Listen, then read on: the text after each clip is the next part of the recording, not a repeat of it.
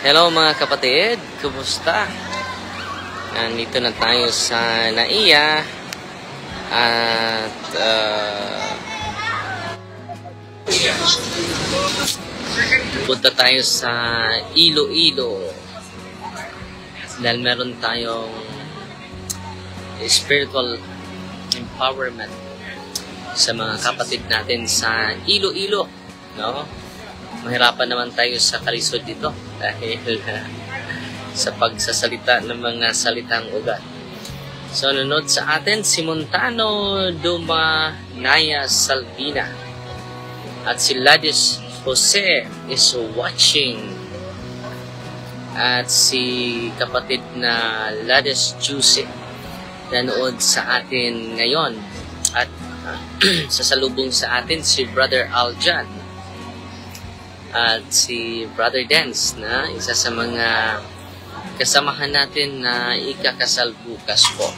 After sa talk natin, insert na po yung talk. So yung pinupuntahan natin yung kasal ni Brother Dance, kasamahan natin sa punto por punto. At first time ko, first time ko ba? Ah, parang second time na pala na makapunta ako sa Iloilo mga kapatid. Uh, busy jud kayo ka father ba? Amping, God bless you, your team, Angelita Pudirana. Si Jan, uh, Vicky So, doon sa atin. Si Mavi Electronic Services. sa Electronic Services na at si Mini Husayan watching from Taiwan, amping po padre. O si Brother Raymond Paul Climaco. Uh, kumusta na? Uh, Brother Raymond uh, at si Raymond Pastor Ligutan. Okay. So, pasalamat tayo sa mga kaparian sa Sikihor-Sikihor no, na nabisita natin uh, noong isang araw. Uh, libo-libo ka mga tao ang na-empower po sa katotohanan. At salamat sa Diyos dahil uh, uh, sa pamagitan ng katekism sa katotohanan, maraming naliwanagan. Hindi naman natin makonvince lahat ng isang evangelization lang. Kaya nga nandito tayo sa ano sa social media uh, from time to time sinishare natin ang katotohanan kahit saan. Para naman uh, uh, yung mga matigas na puso ay dahan-dahan ma uh, matamaan at maging uh, malumanay at yayakap sa katotohanan mga kapatid.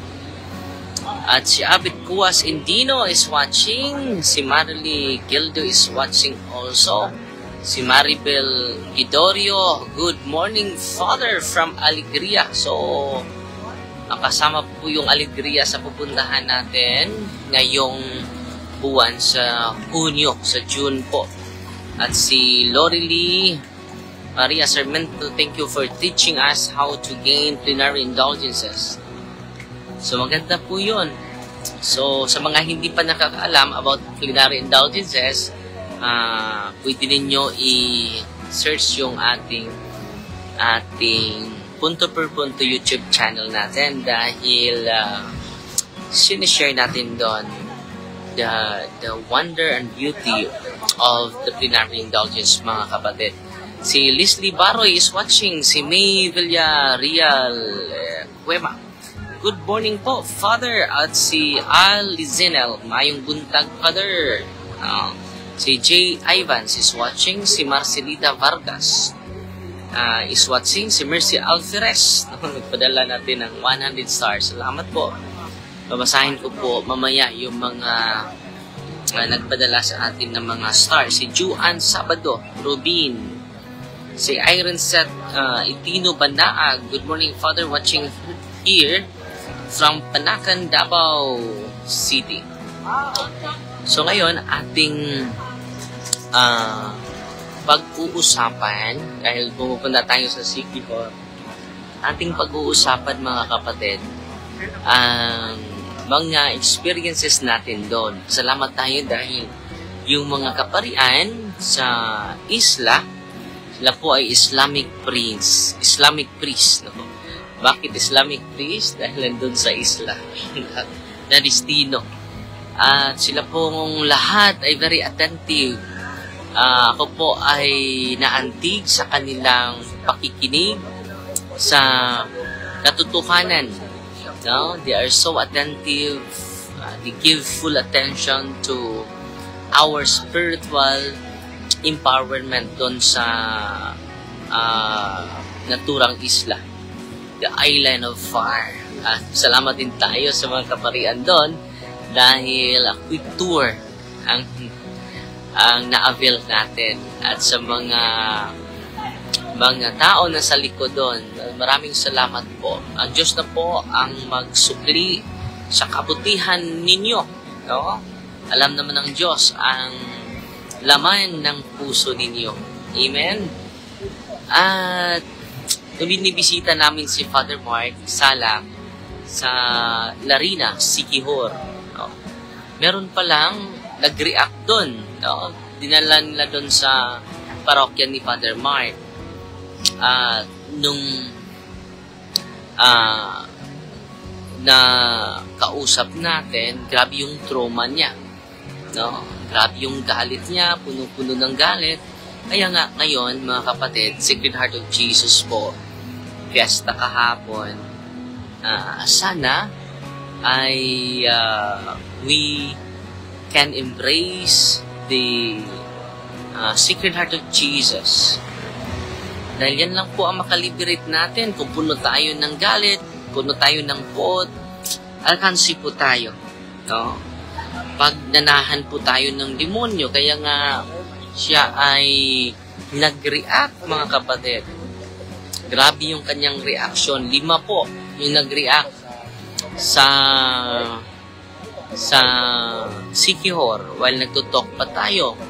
Merong sumisigaw, merong nahihilo, no? Grabe yung ano, no? Hindi makatago yung demonyo sa para ng simbahan. Mga sacramentals ng simbahan, no? Normal na normal naman sila. Pero during uh, pagturo natin sa katotohanan, itong mga nasa likod ng mga uh, uh, faith healer ay hindi ito Espiritu Santo. Uh, yung mga merong amulets, merong mga anting-anting, merong mga habak, no? Dahil sinasabi natin yung totoo, nanginginig na sa takot. Yung mga tao na nakasuot nito. No? Uh, naaalala ko tuloy yung nangyari sa Marcos sa tubig. May sumisigaw sa akin, isang lalaki. Uh, sabi niya, Darwin, itigil mo yung pagsasalita sa katotohanan. Dahil mga taong nasa harap mo ay amen. Kaya pala, sinasabi niyang amen dahil ang daming mga orasyon doon. No? Uh, ang daming mga occultista, mga uh, palm reader, no? mga manghukula, mga albularyo, nagagalit yung demonyo sa loob ng katawan ng isang uh, binatilyo. At doon din, yan, yan din ang nangyari sa Sikihor nung nakausap na ako yung mga kasamahan niya na napalibot sa biktima, yung kalimang uh, hinaharas ng demonyo, mga kapatid. Normal na normal po yun. Nag-a-attend ng Vicariate Youth Day at uh, nung napakinggan ko yung mga kasamahan niya, yung lolo sa mga lolo niya ay merong hurim-hurim, merong orasyon. No? So, grabe no? Kahit malayo na, at tumapit din siya sa mga occult practitioners, mga mangbabarang, mga mangkukulam. Kapag lalapit tayo sa mga ganitong practices mga kapatid, uh, hindi po natutuwa ang Diyos sa atin. Mas mabuti na ating basahin mga kapatid, no? Ang banal na kasulatan patungkol dito para hindi naman tayo uh, magsasalita ng walang basihan. Dahil ah, marami sa atin hindi pa alam ito, no? Kaya nga may lumapit sa akin. Okay na? Ah, sige. Okay. Transfer muna tayo ha. Dahil yung mga albularyo mga kapatid, ito yung theological foundation ng mga albularyo. Mm. Yung mga albularyo, ito yung interpretation niya, theological interpretation nila na sila ay ginagamit din ng Diyos. Ano ba yung basihan na ginagamit sila sa Diyos? Dahil ang Diyos ay hustisya eh. Ano ang Diyos? Ang Diyos ay hustisya po.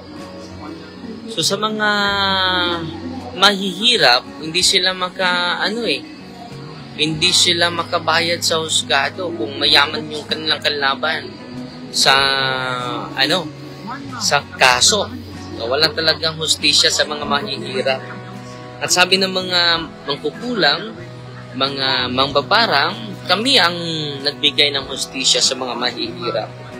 Dahil wala silang laban sa ano, walang laban sila sa pera, wala silang laban sa husgado, dito.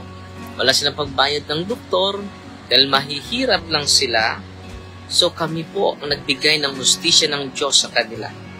Natingnan natin kung nakapag, uh, ano ba yung, uh, yung pagkamangkukulang mga kapatid ay kalooban ng Diyos. Nandito muna tayo sa Galatia chapter 5 verse 20. Pagsamba ng Diyos Diyosan, pangkukulam, pagkapuot, pag-away-away, paninibugho, pagkagalit, pagkamasarili, pagkabahagi-bahagi, mga pagkakambi-kambi. No? So, ito po ay sinasaway ni Apostol San Pablo. Basahin natin ang buo ha.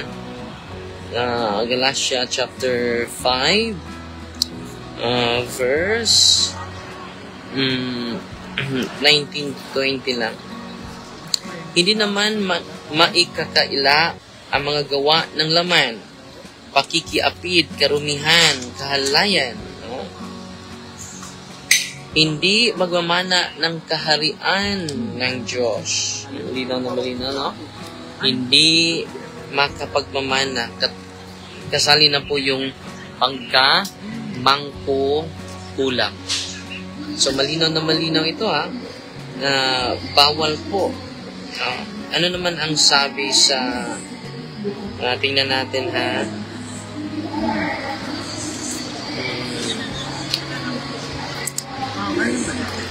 Tingnan natin mga kapatid sa Old Testament. oh. Sa Exodus chapter 22 verse 18, anong sabi ng Diyos patungkol sa mga mangkukulang?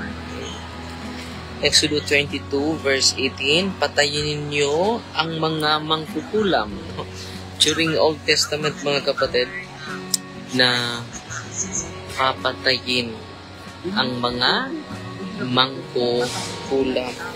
Huwag kayong kakain ng karning may dugo pa.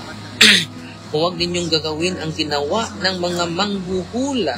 So, kita ninyo, katula, pati na yung mga manghuhula mga palm reading, mga uh, mga bulang kristal, so mga panghuhula at mangkukulam. Leviticus 19.26 Huwag kayong kakain ng karning may dugo pa. Huwag ninyong gagawin ang ginagawa ng mga manghuhula at magkukulam. Hmm. Then, dito din sa uh, Numerous chapter, ano, Numerous chapter 23 verse 23. Walang manghuhula o mangkukulam na makakasakit sa kanila kaysa sabihin ng mga tao tungkol sa Israel tunay na kamangha-mangha ang ginawa ng Diyos sa Israel. So, dito mga kapatid, kapag tayo ay kasama sa bayan ng Diyos, hindi makatalab sa atin yung mga kulang na dito sa Numbers chapter 24 verse 1. Samantala, nang mapag-isip-isip ni Balaam na gusto ng Panginoon na pagpalain ang Israel, hindi na siya nang kulang katulad ng ginawa niya noong una. Sa halip, umarap siya sa diserto. So tumitigil si Balaam sa pagkulang. At sa Deuteronomy 18, wala ni isa man sa inyo na magsusunog ng kanyang anak bilang handog at huwag din kayong manghuhula. Mangkulam. No? Malinaw na malinaw ito ha. Hindi po ito aking sariling idea mga kapatid. Dahil uh, akala ng mga mangkukulam ay nakapagbigay sila ng ano ng nakabigay sila ng uh, karangalan sa Diyos. Pero dito, sa salita ng Diyos ay hindi makapasok, hindi makapagmana sa kaharian ng Diyos, yung mga mangkukula at yung mga mangkukulang. Patuloy tayo. Magabansang ito ay napalalayasin ninyo ay sumasangguni sa mga mangkukulam at manghuhula. Pero kayo'y pinagbabawalan ng Panginoon na inyong Diyos sa paggawa nito. So, malinaw na malinaw ha, na pinagbabawalan tayo sa pagsangguni ng mga mangkukulam at manghuhula po, mga occult practitioners. No? Sa 1 Samuel 15.23, ang pagsuway sa Panginoon ay kasing sama ng pagkukulam at pagkatigas ng uloy kasing sama ng pagsamba ng mga Diyos-Diyosan. Dahil sa pagsuway mo sa salita ng Panginoon, inayawan ka rin niya bilang hari. So, si Saul ito, na sinasaway niya si uh, ang propeta ay sumasaway ni King Saul. Bakit lumapit kayo sa mga manghuhula? Lumapit kayo sa mga mangkukulang. Uh, masama po yan. Masama po yan. So sa mga uh, kapatid natin ngayon na nakikinig sa atin at laging sumusubaybay sa atin, sana po no, wag na kayong lumapit sa mga albularyo, sa mga manghuhula, sa mga mambabarang, sa mga mangkukulam. Masama po yun. Malinaw na malinaw po ito sa banal na kasulatan. Sabi dito sa 2 King chapter 9 verse 22, pagkakita ni Joram kay Chiho, tinanong niya ito, Kapayapaan ba ang sadya mo rito, Chiho? Sumagot si Jeho, kahit kailan hindi magkaroon ng kapayapaan hanggat may pagsamba sa Diyos-Diyosan sa pamamagitan ng prostitusyon at pagkukulam na inum kisahan ng inyong ina na si Jezebel. Hmm, malinaw na malinaw ha? Uh, malinaw pa ito sa sikat ng araw na walang kapayapaan. Totoo talaga ito kapag lalapit tayo sa mga albularyo, lalapit tayo sa mga kulto, uh, sa mga grupo na merong mga faith, uh, false uh, gifts, false uh, uh, charism, delikado po. Wala pong kapayapaan talaga. No? Dahil mga occult po yan, preternatural gifts. Mag-ingat po tayo sa mga preternatural charism, preternatural gift, dahil hindi po yan galing sa Diyos. Uh, meron ding preternatural healing. It is from the preternatural uh, being. And that preternatural being are the fallen angels. Okay?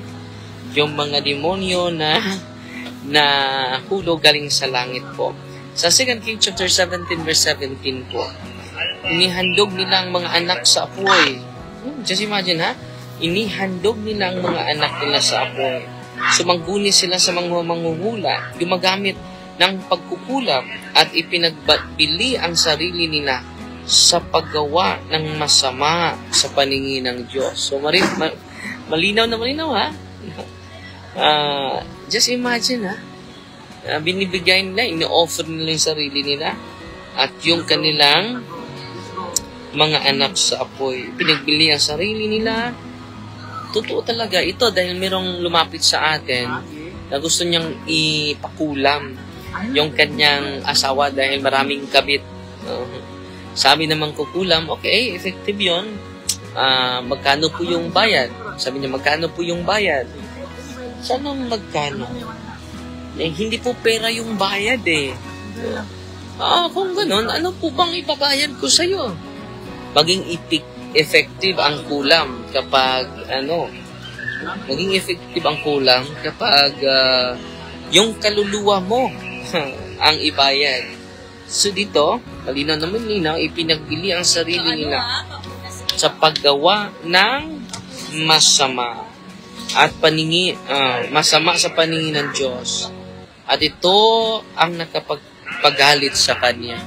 So, kita ninyo, ang paglapit sa mga albularyo, ang paglapit sa mga okultista, ang paglapit sa mga mangkukulam, ang paglapit sa mga uh, okultista, ang paglapit sa mga merong preternatural gifts, preternatural healing.